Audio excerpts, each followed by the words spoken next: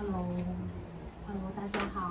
呃，晚上好，我是那个飞地书店的同事，然后我们今天很开心、很荣幸可以邀请到孟占华先生来，也就是《未知的香港粗犷建筑》这一本书的作者，来跟我们进行一场非常精彩的呃分享，关于粗犷建筑，然后呃包括呃粗犷建筑是什么，然后为什么香港会有这样的一个风潮，然后背后的社会风气是怎样？那呃我们可能先前。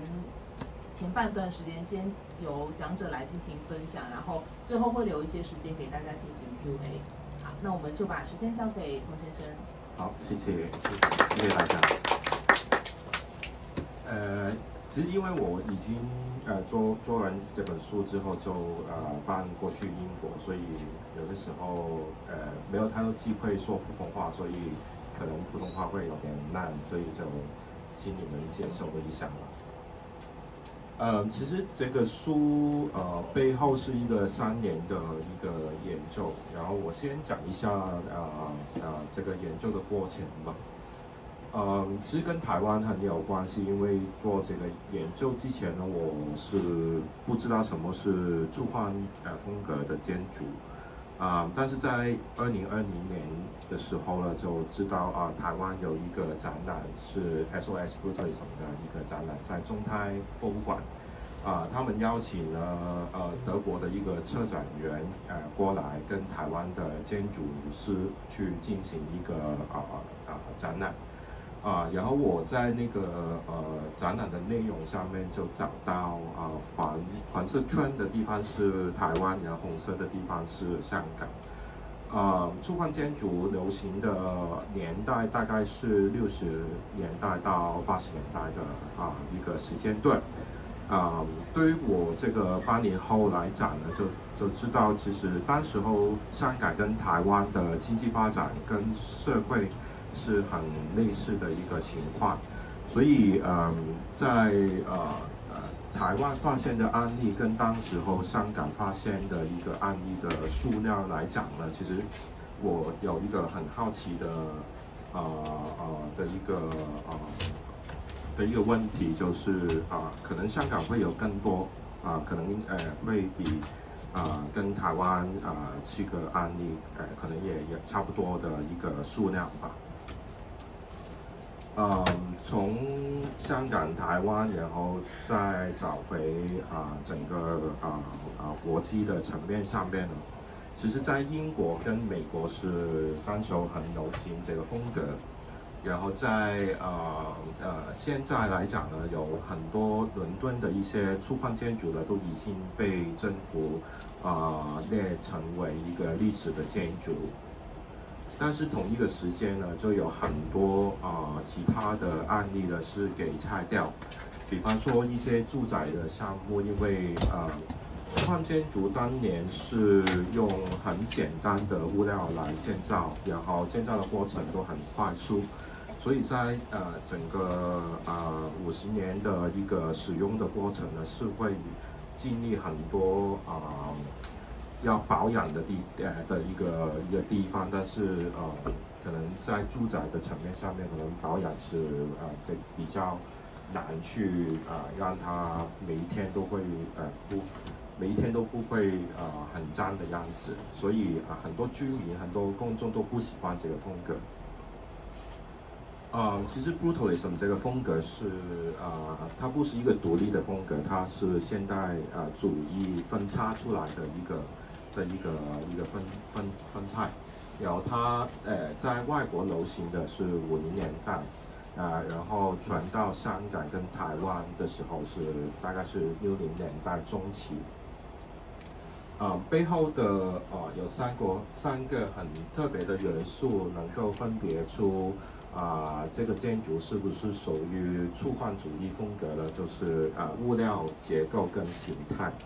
啊，刚才说就是物料，他们用很简单的材料去做啊，整栋建筑，包括立面。啊，我们现在的建筑可能立面上面有很多啊不同的层层次，可能在外皮的层次可能用铝板或者用其他的材料，但是在啊那个年代是没有这些物料的。他们当年新的物料是混凝土 （concrete）。所以通常我们找能够找到啊粗犷建筑呢，都是用混凝土来做啊外立面的一个一个一个立面。然后结构就是呃，因为结构是定义空间的，所以当时候的建筑师都认为呃，希望把结构能够外露给啊普通人都能够知道啊那些结构是定义怎么样的空间。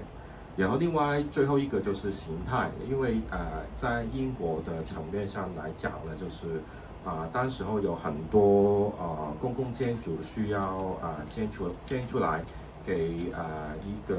啊给公众使用，比方说演讲厅，比方说博物馆。啊，因为呃那个时候是啊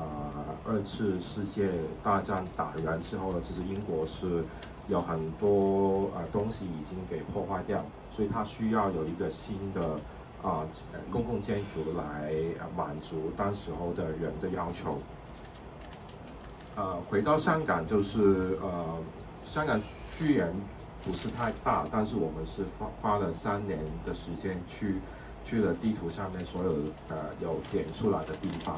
所以这本书其实呃最后我们是啊做了二十个案例，但是我们啊去不同的案例去找去评估的啊数量比二十多还要多。嗯，我们不仅仅是呃是去一些很简单我们能够每天都去的地方。啊，有有一个教堂是很难去的，然后去的时候，其实都已经是没有人在用，然后是啊有围封的一个情况，然后我们整个团队是啊呃就是是爬进去呃非法去进入这个这个教堂的。啊，除了去呃在地去研究啊不同的建筑物以外呢，其实我们呃通过一些关系找到了当年的建筑师，他们通常是大概八十岁到九十岁左右的年纪，所以很不幸运就是我们仅仅呃在研究呃十个建筑师里面就只有找到两个，只有找到两个。所以其实研究建筑是有一个时间段的。如果啊呃，虽然建筑是可能啊现代建筑可能五十年可能也存在，但是呃建筑师的故事呢，它不存在，你就找不到它啊的故事，也呃也不能够跟他去做一些 interview。呃，建筑背后除了人物以外呢，其实也呃有呃他的机构啊，他的建筑师事务所，所以这些都是我们就是每一栋楼啊，每一个机构，每一个建筑师事务所能够找到的，我们都会做联系。所以呃，这这这本书其实是一个关于跟人啊不同的人的交流。然后让他们知道啊，什么样是啊粗犷建筑，我们是研究什么，然后这个研究背后的一个意义啊是啊有多重要。啊，其实最后我们呃在不同的地方找到了不同的书啊，一些当年的图纸啊，有一个五呃已经过了五十年的一个呃模型这个。就是当年啊建筑师做的模型，然后存在一一个学校里面。嗯，除了我们的研究以外呢，其实我们也邀请啊一些呃比较有名的人去啊啊做呃做一些啊文章给到我们书里面。那其中一个就是 Samson Wong，就是啊《城市散步学》的啊作者。然后也有博物馆的一些 curator，然后跟外国的建筑师，我们也呃找到他们，去希望呃不仅仅是我们自己研究人员的一个角度，反为是多维度的去讨论我们香港啊粗犷建筑的一个历史。啊，香港是一个英国的殖民地嘛，所以我们。啊，呃，第一天的感觉是，呃，当年的建筑肯定跟英国有关系。那呃之后可能会有一些案例是有会说明一下啊那个关系是什么。但我们在两年前其实是跑去伦敦去跟当地一些有关系的人啊去做交流，然后也跑进呃 AA 的 archive，就是一一所很有名的大学建建读建筑的大学里面的档案处啊，去找某些当年建筑师的一些 archive。所以这本书是比较厚的，就是好像一个字典一样，因为里面说的故事有很多，啊，有二十个案例跟十个人物。呃，除了文字以外呢，其实也有一些我们重新制作的东西。比方说，我们找了一个很好的啊 photographer 去跟我们啊啊啊去不同的建筑去啊拍现场的照片。我们也有呃用一些尽量用一些图纸啊把它啊做 3D 的模型。希望把啊原本一些已经拆掉的建筑，把它立体化出来，体现在我们的书里面。啊，所以进入今天晚上的主题就是什呃什么样是香港粗放建筑？它跟啊台湾的粗放建筑有什么分别？他们跟啊英国的啊粗放建筑有什么分别？那第一个是跟呃头两个是跟香港很有关系的，呃香港印象很有关系。第一个是高密度，啊这个肯定是大家对于香港的一一个印象，就是楼很高，然后密度也很很很很夸张。呃，右手边的是三零年代的香港，其实呃是一个平地，没有什么高楼的，但是到了六十年代就。就你就看到所有的建筑都是往上去发展，呃，六十年代刚刚好是粗放建筑出现在香港的一个时间，所以我们认为呃有一些案例是代表呃香港从一个呃普通的一个城市跑到去一个国际的城市的一个过程。啊，其中有一个建筑师他很多作品都是做一些呃很高的啊粗犷建筑，啊，他的名字叫林山，其实他跟台湾是有啊有点关系，因为他的爸爸是林本源啊是一个艺术家，啊，但是他就没有跟爸爸来台湾，反为就是在香港呃生活。呃，因为他是他做的公司是当时候香港啊最大的建筑师事务所，啊也是英国人开的，所以他做的作品都是比较大型、比较出名的一些案例。那这个案例呢，其实呃混合了两两个呃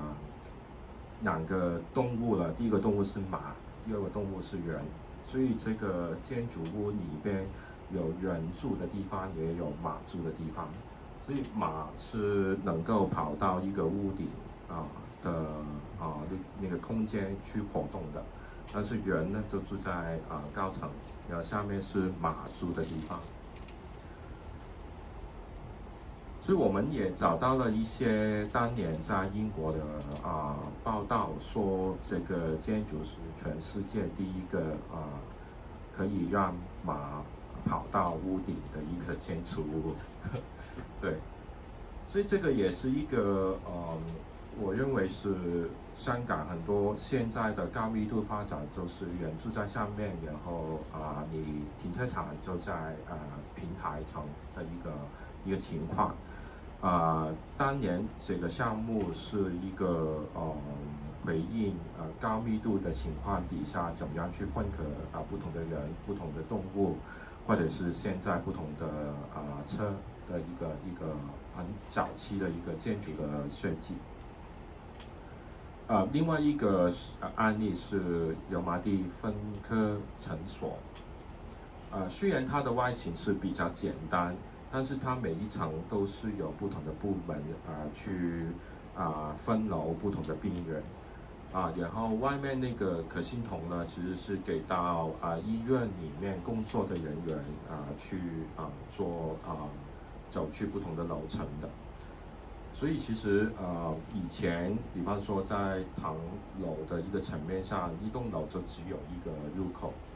啊，但是当年呃为了人口啊呃孕妇不同的人楼啊，整栋楼就有不同的入口。整栋不不同的入口，这个也是一个，虽然说呃，对我们来讲啊，现在很多就是在台湾呃一栋楼都有很多的入口，但是在六十年代的时候其实不常见，不常见，所以这个也是一个呃香港一个啊当时候一个很新的一个做呃设计做法。啊，比方说其他的就是海员俱乐部跟啊那个北角的一个住宅宿舍，啊，这两个案例都是属于啊粗犷建筑的风格，然后啊这么高的一个八十米高的一个住宅呢，其实在当年的北角是很少见，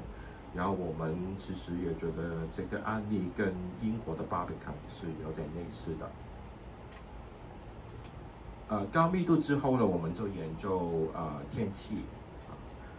这个是也是一般人，就是我也认为香港一直都是这样子啊，但是在六十年代的啊一些现代建筑、粗犷建筑呢，就不是一个玻璃幕墙的情况，呃，当时的社会是没有空调机的，所以啊建筑本身的一个设计需要通过一些手段去。把它通风，啊啊，现在就不用了，因为我们有空调机，那我们就可以就是玻璃幕墙没有墙都我们可以做好通风的一个一个一个啊效果。啊，有两栋在中大啊比较好的案例啊，这个是中文大学的活动中心。其实从这个 3D 模型里面呢，我们就能够看到，呃，整栋楼是很通透的。比方说在首层，它是这些玻璃门是可以全部打开的，然后啊，这些活动的空间跟屋顶上面的开洞，其实也是让风可以做对楼通风。所以这个这个呃活动中心呢，现在呢都都都还在用。证明它的通风的效效果跟设计是很有效的一个啊的一个结果。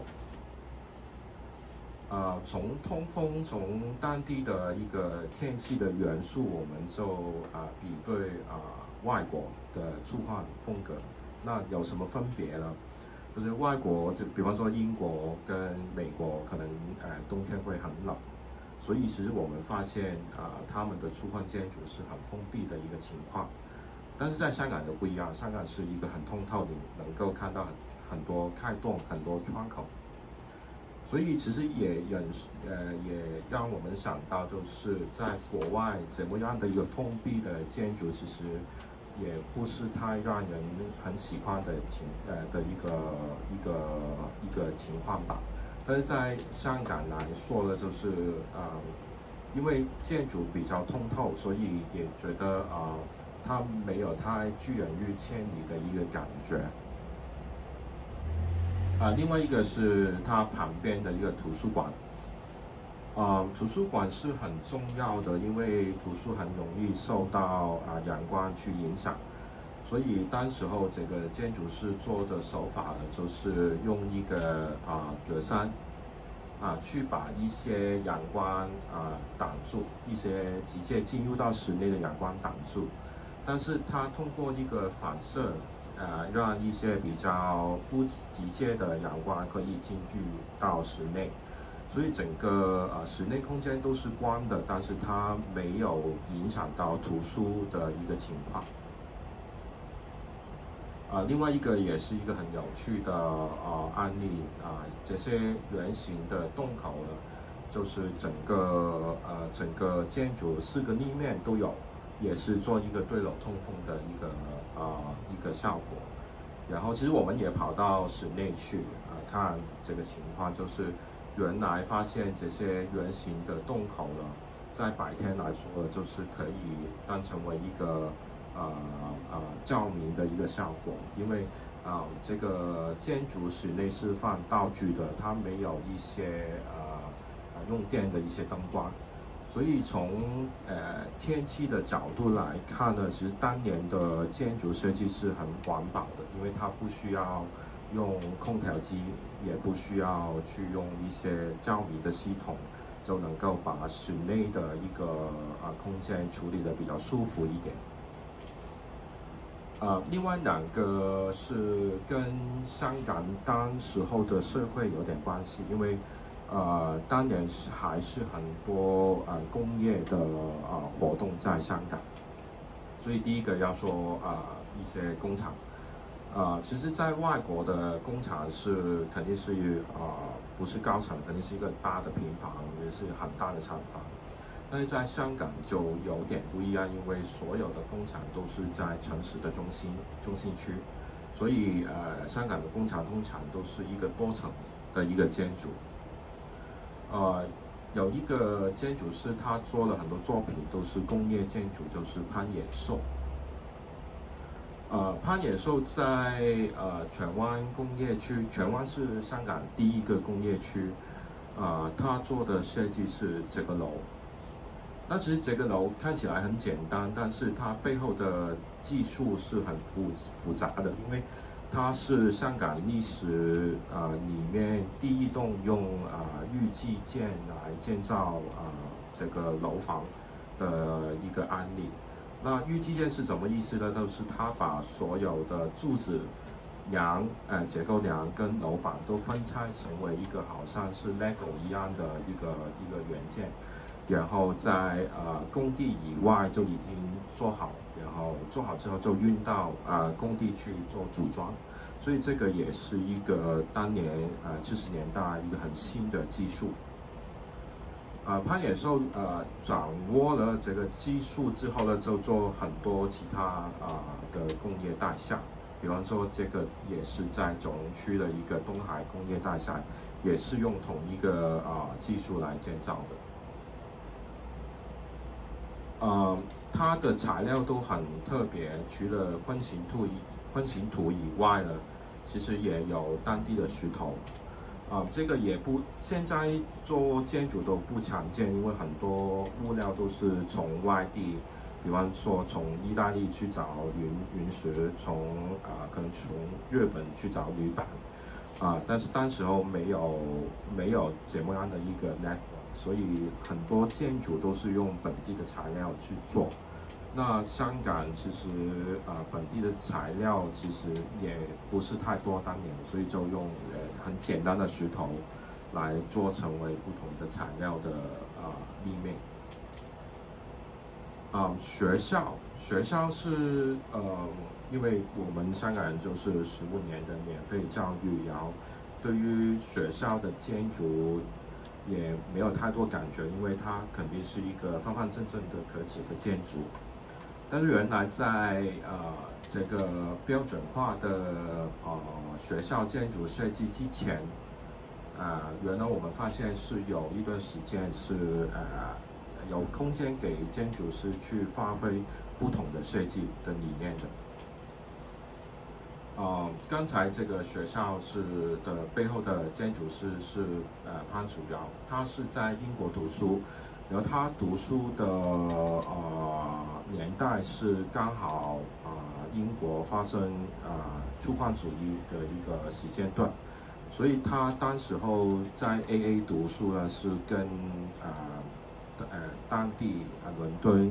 啊最主要的粗犷主义建筑师是有啊很多的交流的。嗯，这个中学其实呃背后是一个山坡。然后这个是礼堂，这个是另外的一个活动的空间。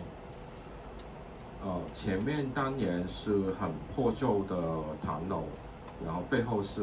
呃刚建好的一些公共的房屋，所以整个整个整个环境是很矛盾的一个一个状态，很矛盾的一个状态。然后这个学校就是一个粗犷主义风格的一个倾现。呃。山呃，香港有很多山嘛，所以呃，当时候他应对山坡的一个一个创意在于，呃，他没有破坏整个山坡的形态，反为他把整个大礼堂通过一点的支撑点，然后通过几根柱子就把啊大空间给给呃承托，然后里面都是一个没有柱子的空间。所以在当年呃七十年代的时候，要做怎么样的一个空间，要做很复杂的一个结构计算呢，是很难的。然后这个礼堂其实现在也是一个香港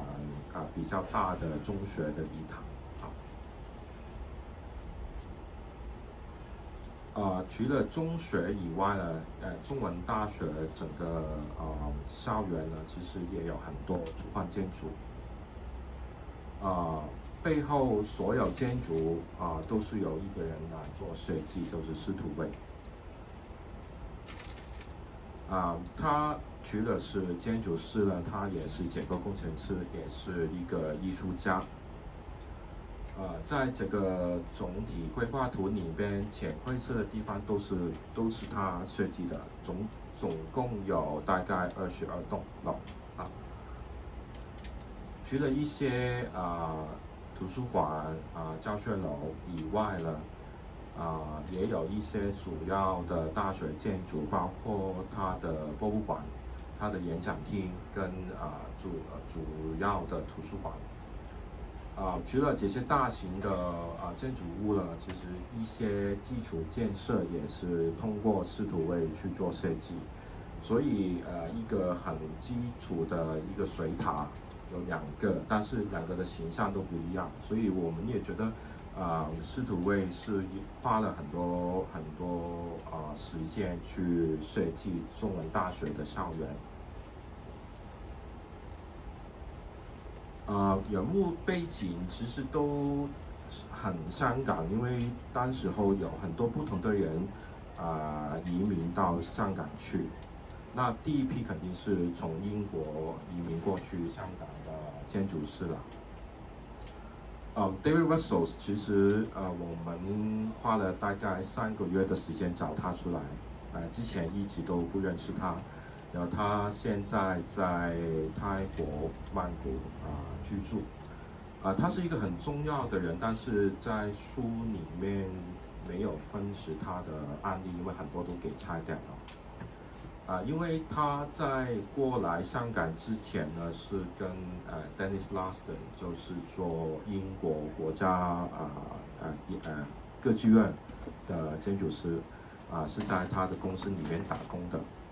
然后 David Russell 搬过来香港之后呢，就邀请呃这批人过来香港去做项目，呃去做演讲，所以呃也是一个人物把触犯建筑的一些呃想法、一些交流、一些理论从英国啊搬过来香港。呃，他跟 Dennis Larson 合作的一个香港项目呢，就是城市大学的一个设计。那很不幸运，就是没有建起来，因为它是一个比赛，然后他们当年只有啊得到第二名，第二名。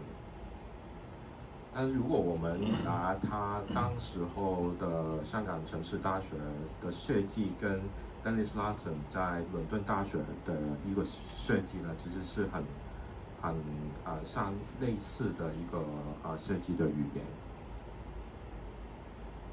啊，这个也是一个，其实我们呃没有能够去研究政府的建筑，但是从一些案例上面，我们能够找到英国跟香港的一个很强烈的联系。这两个楼，一个在伦敦，一个在香港，是同一年建造的，一九七二年，一九七二年。他们设计的手法是把啊普通住宅的空间跟可信筒。是通过连桥连起来，然后两个主要的空间是分开的。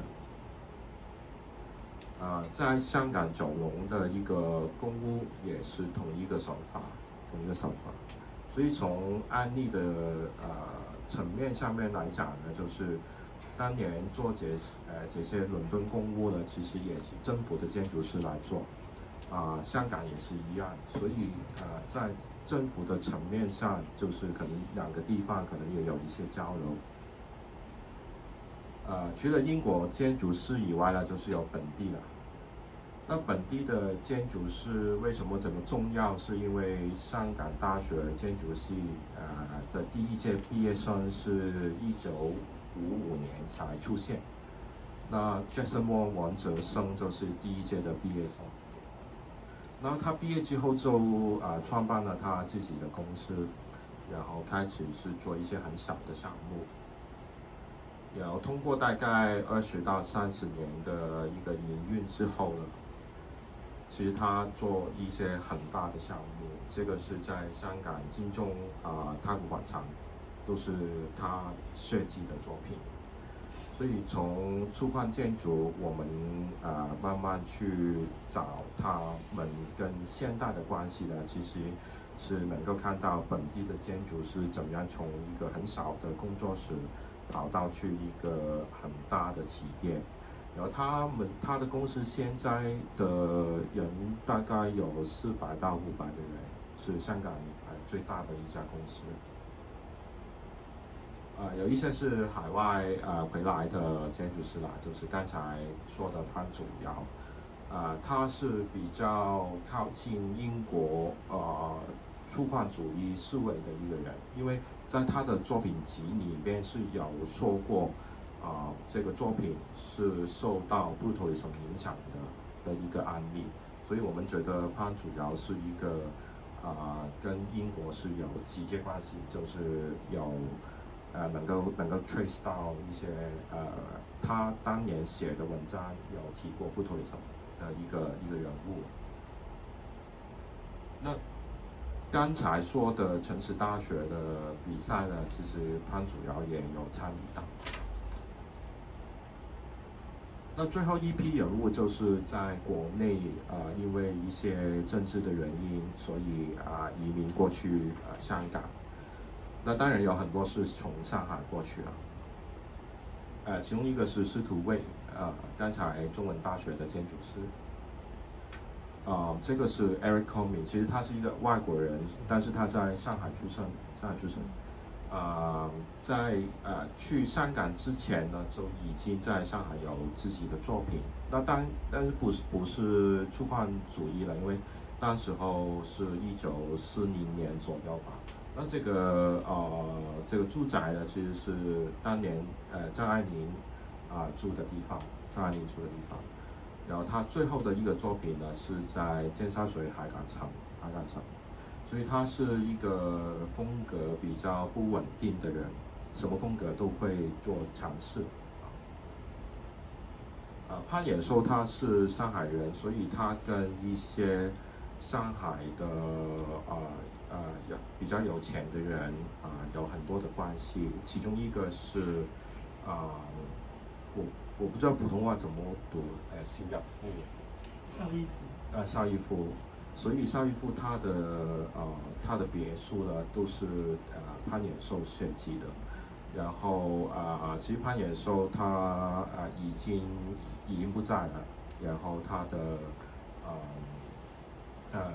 他所有的一些故事都是通过他的女儿跟我去讲，所以对于他是比较熟啊。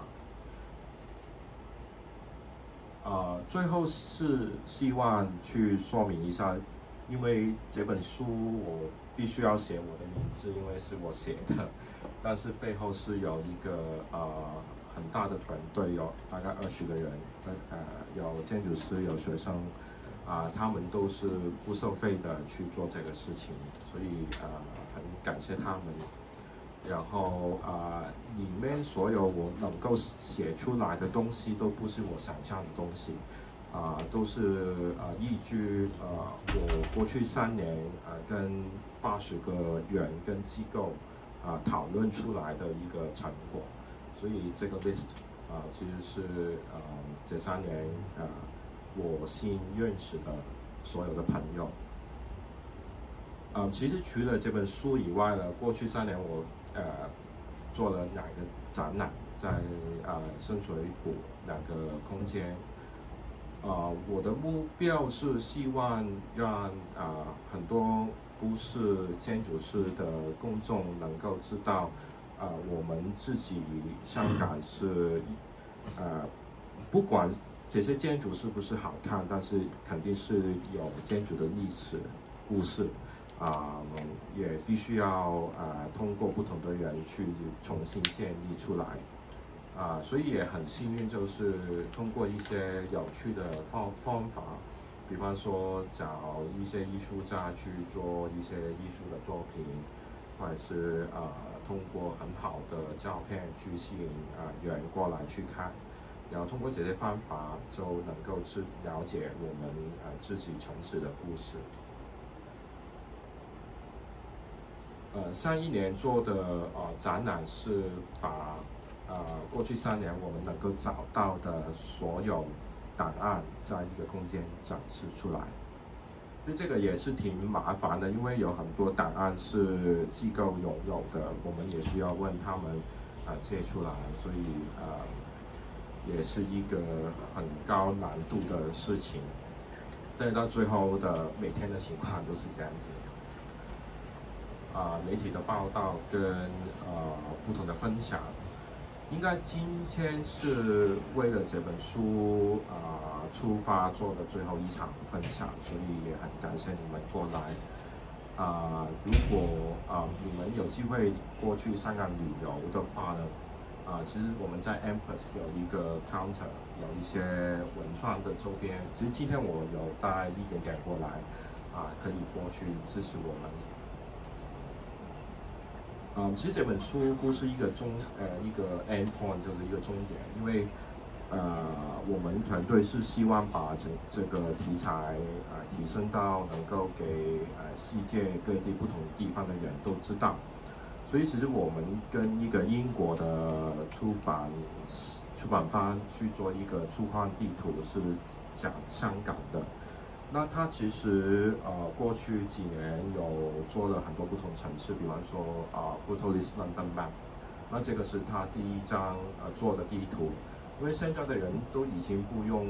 呃不用地图，所以他觉得地图可以有第二个用途，就是讲城市的故事，所以呃香港的版本就会在今年之内就会出现了。其实我也希望就是做完香港之后，就是找一些相关的人做台北的或者是台湾的出版地图。所以嗯，今天的分享就到这里了，谢谢。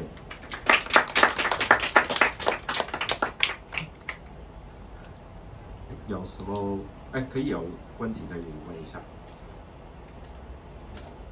主持人他等要等他一下下，他从后门绕出去。让我来吧。好。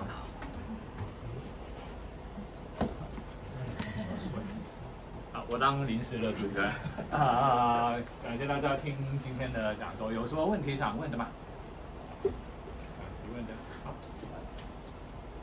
你很好奇，就是呃，因为我我刚好就是出就是之前有办过粗犷主义展览的。那个中山美术馆的同仁之一，然后我我很好奇说，就是呃，你之前看完展览之后，有没有去逛逛台湾的崇光主义的建筑？哦，是呃，那时候是疫情，所以我没有我我没有到呃台北去看你们的展览，所以我还没有机会去去参观啊台湾的出发主义，只是从照片的层面上有看过。但我觉得，呃，台湾的案例是有很多中中国的元素在里面的。那我不知道为什么香港是很少。呃，其实昨天在书展里面有一个朋友问我一个问题，然后我也想说一个当时候做做的一个答案，就是他问我呃，香港的粗犷建筑有没有一些中国传统的影响？呃，那我的答答案是没有的，因为当时候刚好是跟呃呃香港本地的建筑教育呃刚开始是呃跟粗犷建筑流行的时间是重叠，然后香港大学当年第一第一个呃建筑系的 professor 是从英国招过来的，啊是从英国 AA 招过来的，所以呃。当时候本地的建筑师设计的那一批粗犷建筑呢，是很 westernized 的，很西方的，很少见到中国的元素。但是我从啊照片上面看台湾的呃那批案例是是有呃有一些中国的 elements 在里面。其实当年 Oliver 也是这样说，就是德国的车诊人也是有怎么样的一个结果。但他也有说过，香港的触犯案例是有中国的元素，我觉得就有在这个这个点上面有点不同意。对。其他的问题。好。好，谢谢你的演讲。我想请问一下，刚刚你有提到，就是呃，香港的粗犷建筑一开始都使用当地的 resource，那那那些是哪几项？呃，当地的香港有的资源？因为如果以环保来讲，我觉得现在越来越多是要回到当地，跟跟当地的地区跟 resource。嗯，我觉得是当时候，呃，在粗犷主义出现之前那批香港的唐楼是有很多水磨石，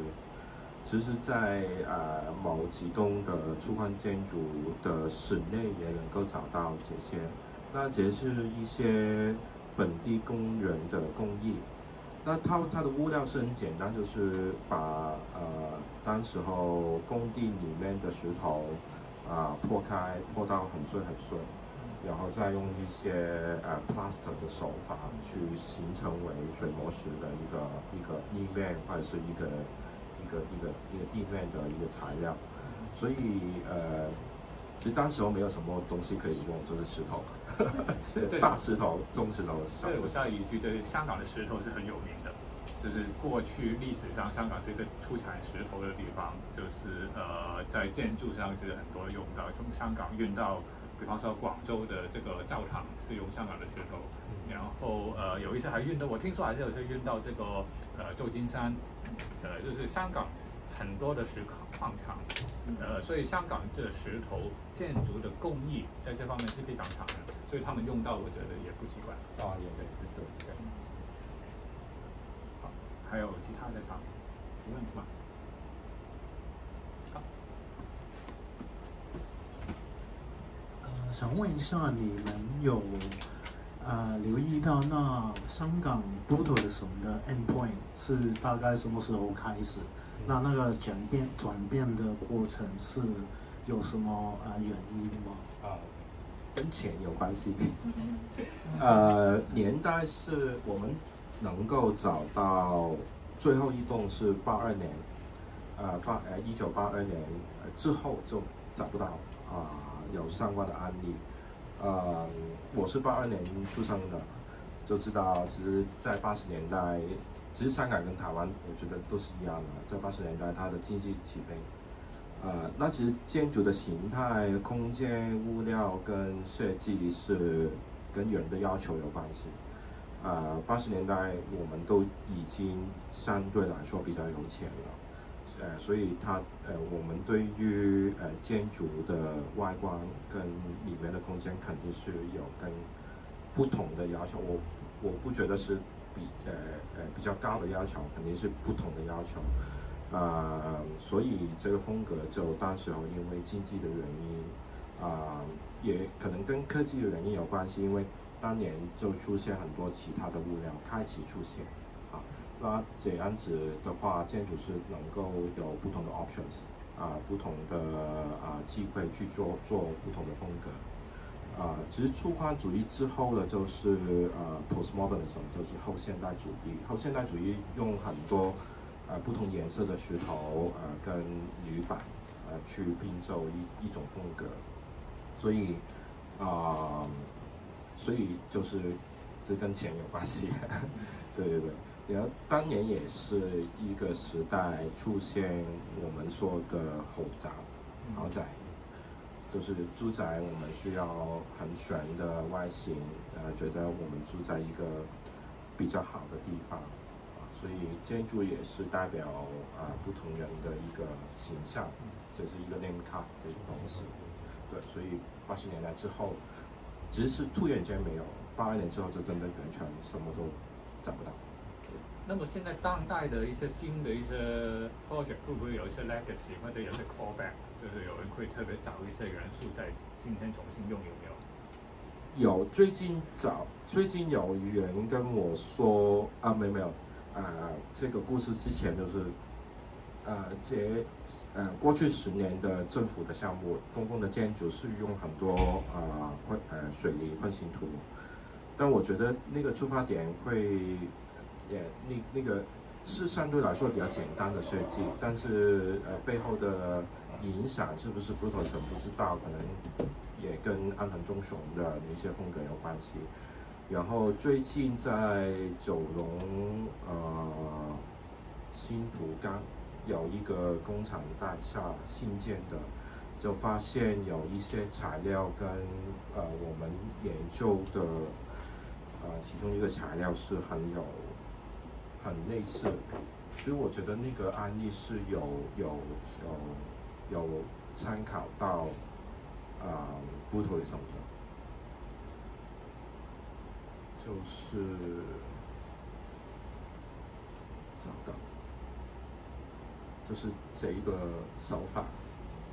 其实这个是一个很复杂的一个建造过程，因为呃混凝土是用木板成为一个形态，然后把一些水泥砂浆打进去。但是如果你要做这么呃 detail 的啊一些。呃，凹凹凸凸的缝呢，其实是很难做。啊，这个工艺其实，在八十年代到今天，其实我我也很难找到一个新的建筑是用这这个手法。但是最近在九龙区找到一栋，是重新用这个模模式来做某一个立面。所以我觉得那个建筑师，我没有机会跟他谈，但是我觉得他肯定有 reference 这个东西，对。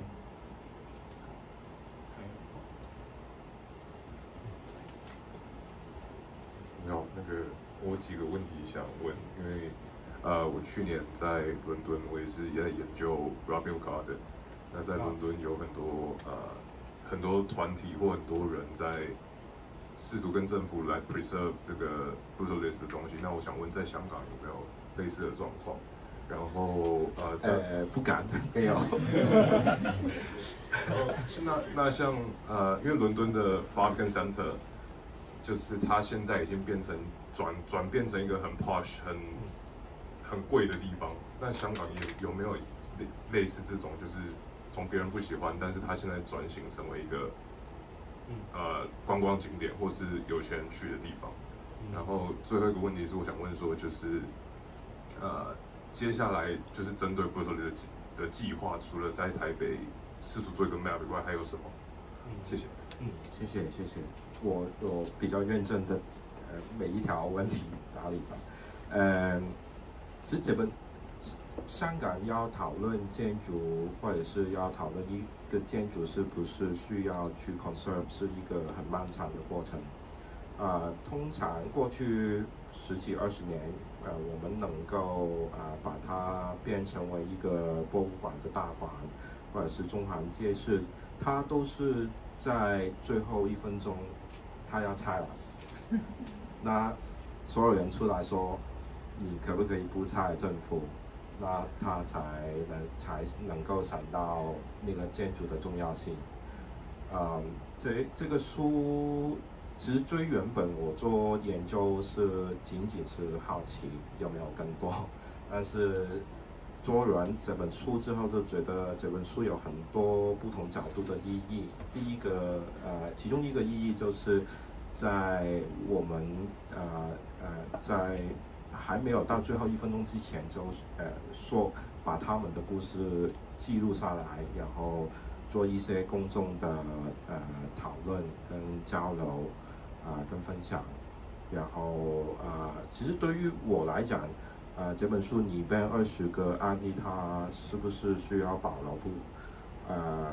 我不是不 care，但是我觉得不应该是从我们的口中来说，应该是看人这本书或呃不，不管是政府的人员、公众的朋友啊，由他们一起来决定的。所以呃，我们不是一个 group 去 advocate 某几栋楼需要去保留下来，因为当年呃这些粗犷建筑的案例是很简单，学校、教堂，它。不是刚才我说的中环街市，呃大馆以前的怎么中心区的一个呃警察的总部，它不是这些很大型的历史建筑，反而是一些很小的很 neighborhood 呃就是呃很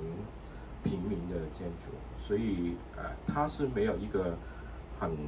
高的社会的意义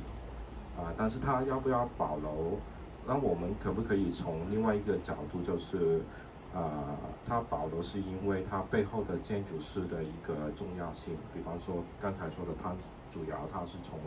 英国读书，然后学布托里什，然后回来做第一栋啊粗犷建筑。那这样子，我们是不是有新的角度去评估一个建筑的重要性？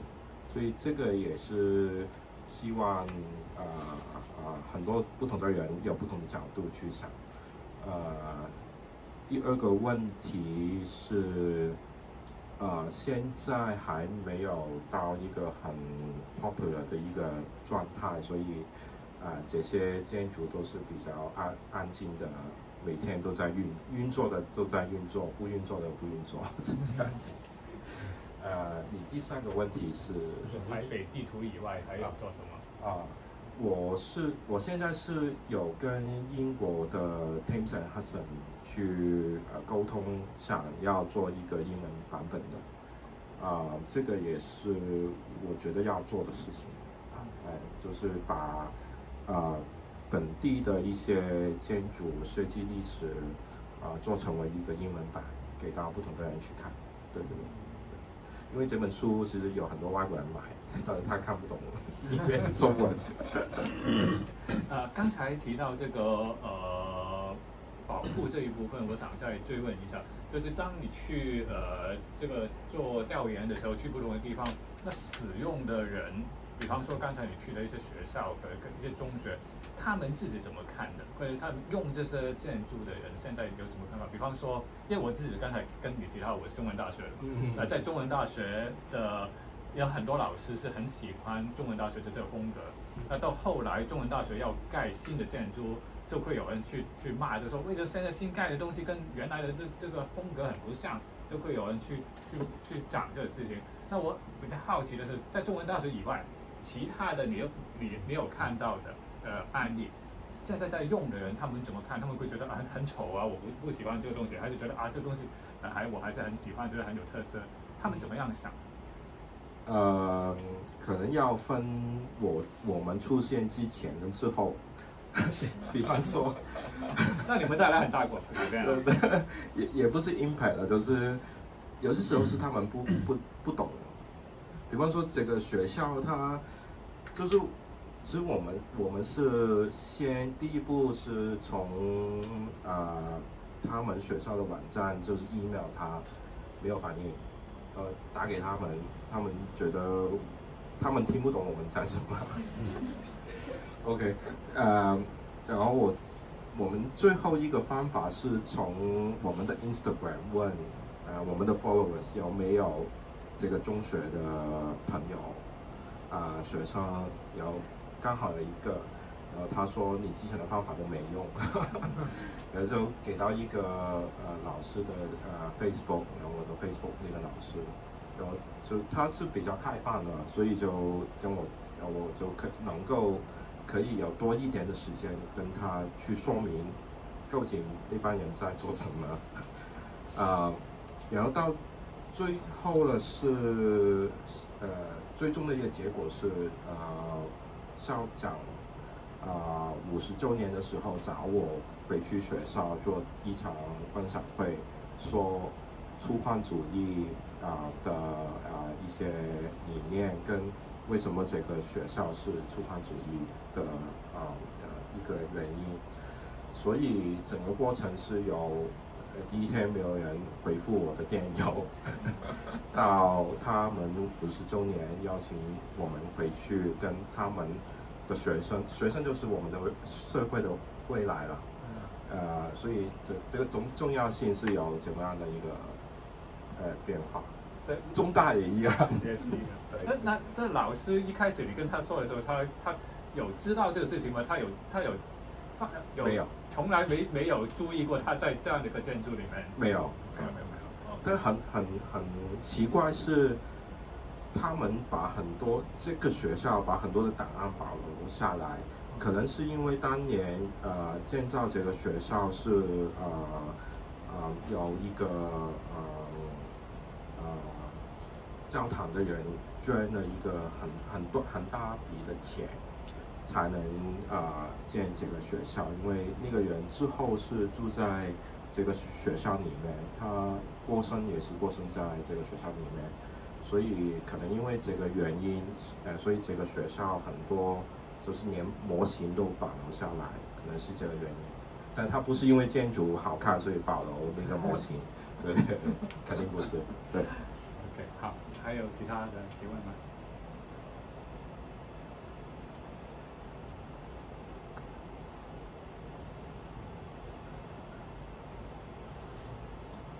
呃，我再再问一条吧，就是，呃，在你看到在香港出现这样的建筑的，会不会有什么地方的一些特点？比方说某一些地方它会出现，某一些地方它不会出现，因为这这是比如说，呃，在这六零年代也好，呃，在香港也出现了很多建筑啊，那为什么是某几个地方或者某几种功能它会出现，嗯，而不是在其他地方？嗯，呃。其实也也是很很很现实的一个原因啊，因为比方说工厂、呃学校是，呃，其实我们有研究过，他们要花多少时间去去去盖好那些房子，呃呃，很 extreme 的时间是六个月就就建好了，然后最最久的一栋是十八个月，十八个月就是一年多就能建好，所以。当时候是很快速要这些建筑，所以也也给到一个一个建筑师的机会，就是啊用可能他跟客人说这些建筑比较容易建，因为什么都没有啊，物料里就是用混凝土就行了，那那就会形成为一个呃一个一个原因呃出现怎么样的建筑啊，其实这些建筑其实。呃，我觉得建筑师当时候的设计不是想要，呃，他永久的在那边的，我觉得，所以也是一个时间的考虑。还有其他的提问吗？没有的话呢，今天就非常感谢我们有这样的一个分享，可以知道香港这样一个很有趣的一个建筑历史啊，谢谢。好，谢谢，谢谢，谢谢大家。啊，书在这里，想呃希望买的可以呃可以。